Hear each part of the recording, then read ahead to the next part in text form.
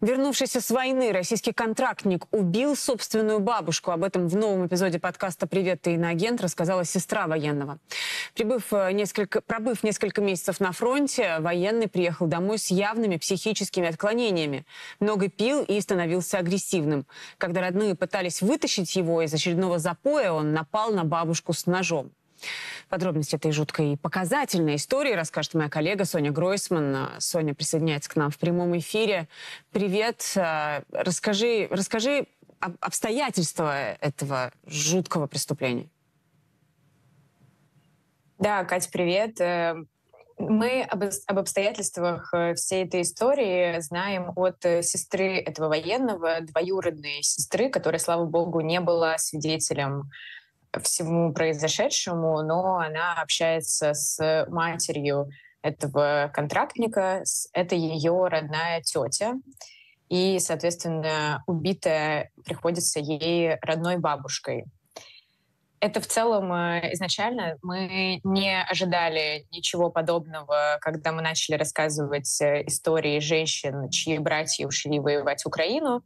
То есть э, изначально для нас э, это была одна из трех историй, которые мы планировали рассказать про экзистенциальный кризис, скажем так, про конфликт э, внутренний, в котором оказываются сегодня многие люди, когда, например, они сами выступают против войны, а их близкие эту войну поддерживают, не просто поддерживают на словах, но еще и готовы эту поддержку выражать, скажем так, своими действиями не с дивана, а идти на эту войну. И эта история началась э, просто как история а, москвички, которая рассказывала о том, как э, ее двоюродный брат в небольшом российском городе, из которого она уехала в какой-то момент, а брат с тетей там остались.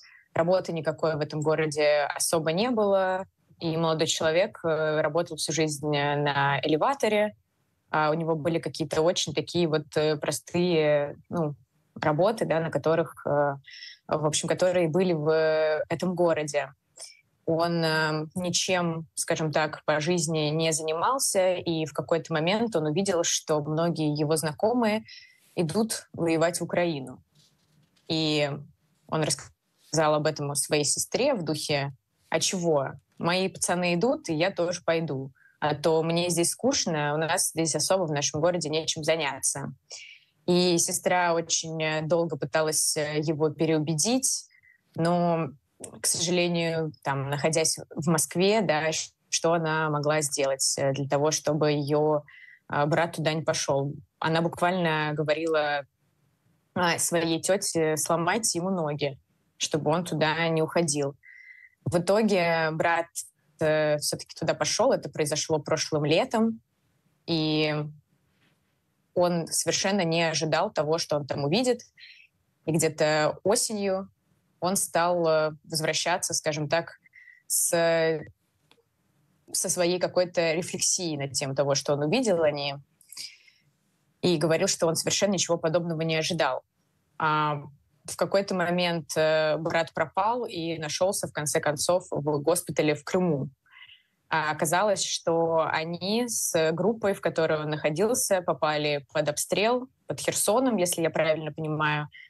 И в результате этого обстрела вся группа, кроме трех человек, погибли, а сам этот э, а, контрактник получил очень тяжелые ранения, контузии, и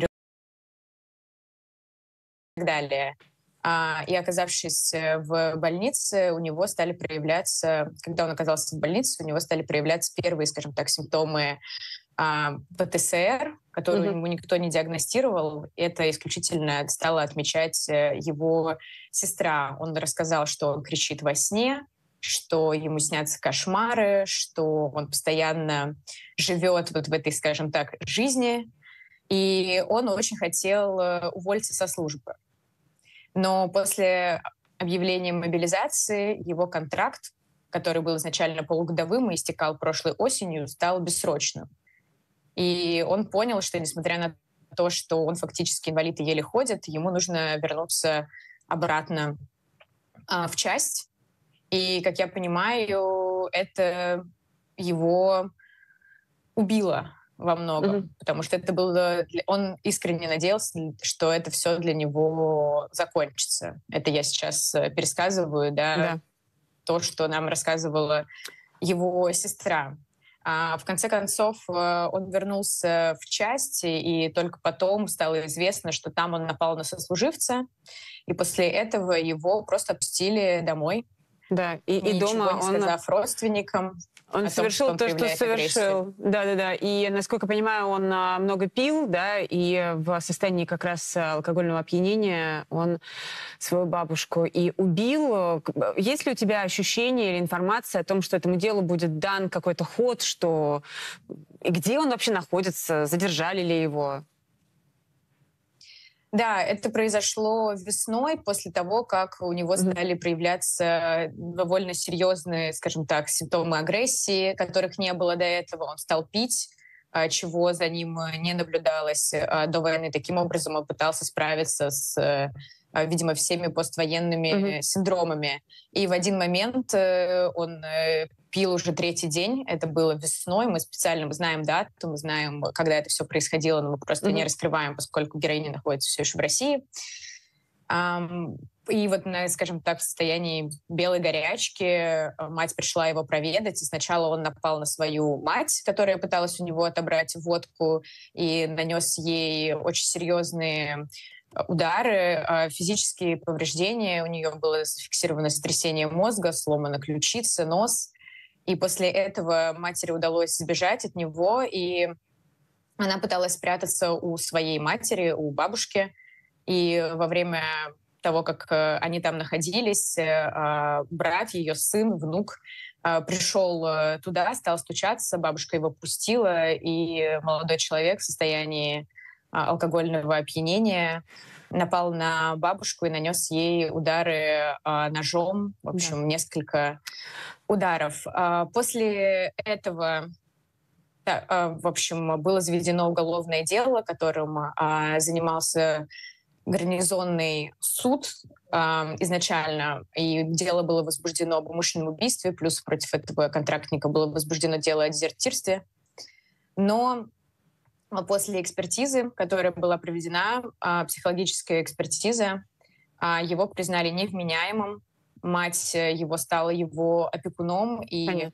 Он из СИЗО, где он дважды пытался покончить с собой, был переведен в психиатрическую больницу, и, видимо, вот на этом все закончится, потому что mm-hmm. дело закрыто. И я yeah. упустила важную очень деталь, мне кажется, которая в этом важна, Кать в том, что мать э, в момент, когда она стала бояться своего сына и чувствовать от него агрессию, она позвонила на горячую линию Министерства обороны и рассказала, в общем, о том, что происходит, и попросила о помощи. И ей сказали ждать, сказали, что перезвонят, и перезвонили mm-hmm. только через две недели, когда было уже поздно. Да, это, еще раз повторю, очень показательная история. Слушайте подкаст «Привет, ты иноагент». Соня Гройсман, журналистка, моя коллега, бывшая сотрудница «Дождя» и, надеюсь, будущее. В эфире. Спасибо.